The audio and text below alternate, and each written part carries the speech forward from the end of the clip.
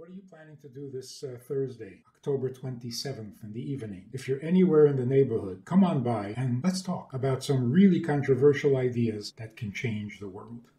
But getting back to the original concern, if it is moral indignation, moral indignation should happen. You should be upset when people are not behaving properly. But moral indignation doesn't lead to violence or loss of control. Moral indignation means you are very much in your mind, in your sane zone, and you're objecting to something because it is wrong.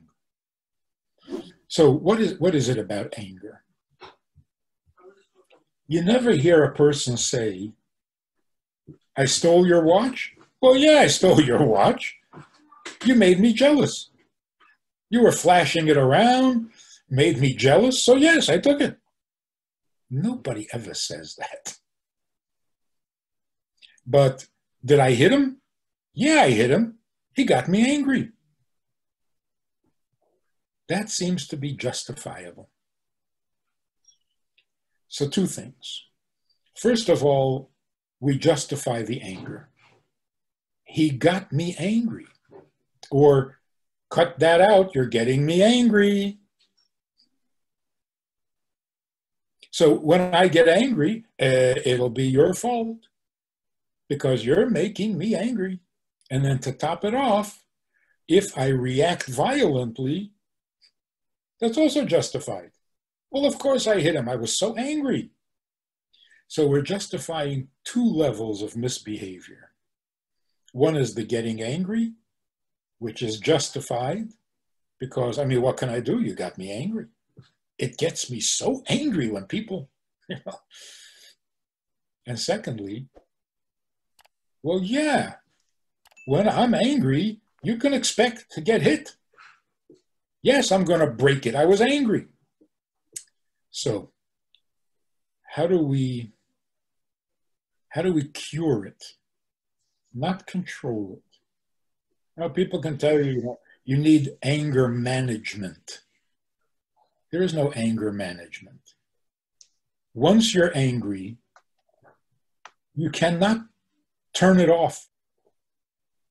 Just like you can't reason with a child during a tantrum when a child is in the midst of a tantrum, you can't reason with him. You cannot convince him that the tantrum is really unnecessary. the kid is rolling on the floor, and you say, This isn't necessary. There's nobody listening. So when you're angry, there's nobody listening. And that's part of the. Um, that's part of the uh, distastefulness of anger. When you're angry, you're not, you're not a listening human being. You're not a thinking human being. The anger overwhelms. So the Gemara says a person who gets angry is like a person who denies God's existence. What's one got to do with the other? When you're angry, God does not exist for you. There's no room for God or anybody else because the anger is all consuming. So for that moment, you are godless. So, how do you cure the, the anger habit? First of all, you do it when you're not angry. You deal with your anger when you're not angry. When you're calm, when you're thoughtful, when you're when you're open to suggestion, even auto suggestion. So set aside some time in a nice, comfortable setting and put a little thought into why you get angry, why you shouldn't get angry, what kinds of things do you get angry about. You open the subject and you examine it like an intelligent human being. There's a group of mothers I was talking to years ago, and they asked, Is it okay to spank a child? I said, Sure. They were a little shocked. I said, Of course. Sure, you should spank a child. Just don't do it spontaneously. Sit down and make a list of things that you're going to spank your child for. What kind of misbehavior will you spank your child for? Write a list. Hang the list on your refrigerator where you put all your important documents. And then when your child does something, if it's on the list, you can spank him. If it's not on the list, you can't spank him.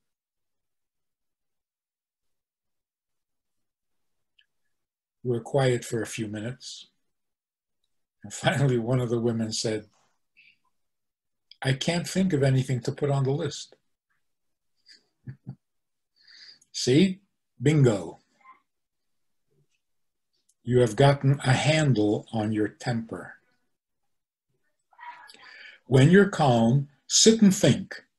When will I allow myself to get angry and about what will I allow myself to get angry? And all of a sudden, you don't seem to come up with many reasons or occasions for losing your temper. That's because you're thinking. Once you lose your temper, you're not thinking anymore. So here's how the effect will happen you will give it some thought, and you will realize that in most cases, anger is not even necessary. What's, what's to get angry about? Wasn't that serious? And it doesn't do any good. All I do is get frustrated and hateful, and I accomplish nothing. So a couple of days later, something happens, gets you angry, and you lose your temper. But somehow it doesn't last as long. And somehow it's not as intense because your mind has already cut back on the justification. It's not so justified anymore. And to prove the point, and we've spoken about this many times, a guy says, I, I hit my child. I lost my temper. I lost control. And I hit him and I regretted it. But I was out of control. I lost control. I said, Did you hit him with a brick? He says, Don't be crazy. if you had lost control, why didn't you hit him with a brick? Because it's crazy. so even when you were angry, you were not crazy. So why did you hit him? Because in your mind, there is a certain degree of justification. You can justify slapping a child, not hitting him with a brick. So even at your angriest moment, your mind set up certain certain limits or certain borders beyond which you will not go, even when you're at your angriest. So it's not true that you lost control.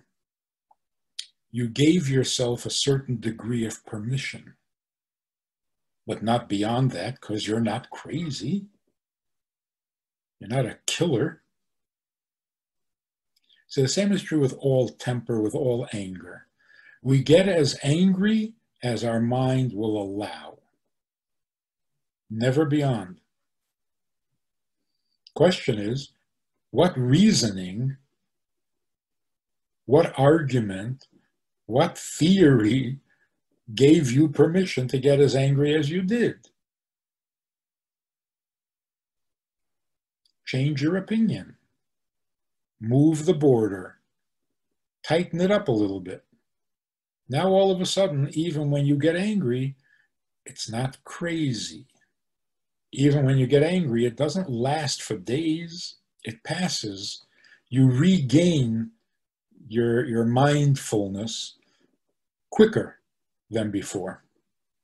So, point of it is this.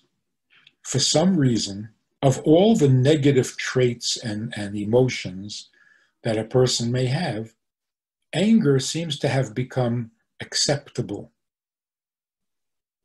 It's justifiable. Even what you do when you're angry is justifiable, at least to some people. So we got to change that. Who makes it justifiable? Who said it's okay? Who said it's inevitable? I think that's the, the key point. If something irritates you, of course, you're going to get angry, like it's inevitable. No, it's not. It's a myth. Anger is not inevitable. If you've already given yourself permission, then it is probable and predictable, and you have you you have included anger into your into your definition of a of a mensch.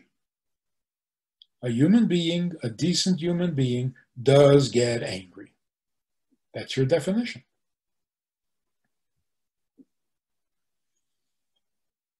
Like somebody, what, don't you ever get angry?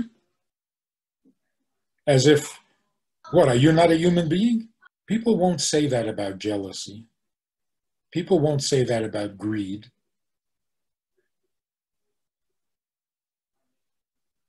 Yeah, I'm greedy.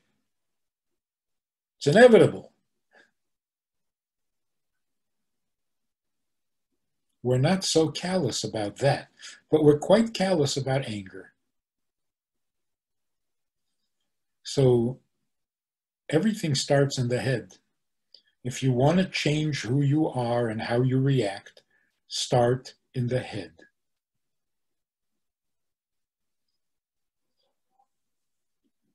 I think that's why when people act irrationally, they'll often say in regret, I don't know what I was thinking. You weren't thinking, you were getting angry. Why are you blaming it on your thinking? But it all starts in the thinking. What was I thinking? What were you thinking?